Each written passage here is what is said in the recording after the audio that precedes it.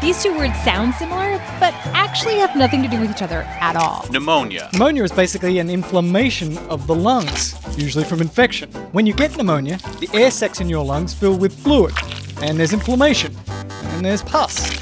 But pneumonia is not a pathogen specific disease. You can get pneumonia from all types of pathogens. You can have a parasitic pneumonia, you can have a fungal pneumonia, you can even have a thing called chemical pneumonia, if you breathe in a gas, it can produce a very similar inflammation. But the most common is bacterial pneumonia, caused by. Wait for it. That's right, bacteria, or viral pneumonia, caused by, yes, viruses. Like the SARS CoV 2 virus. This virus, in particular, likes to infect the lungs. So that's why a lot of COVID 19 patients have pneumonia. Ammonia.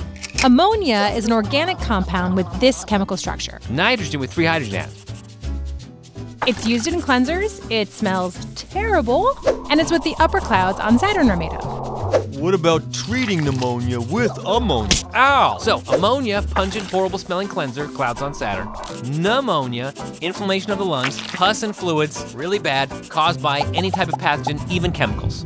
This message brought to you by Saturn's Clouds, the household cleanser that does the job but smells awful. That's how you know it's working. All right, if you want to know more about pathogens, check out season one, episode two.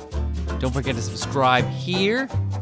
And if you want to start the whole season one from the beginning, you know, because it's a story and starts with a beginning and has a middle and an end, then click on this little guy over here, huh?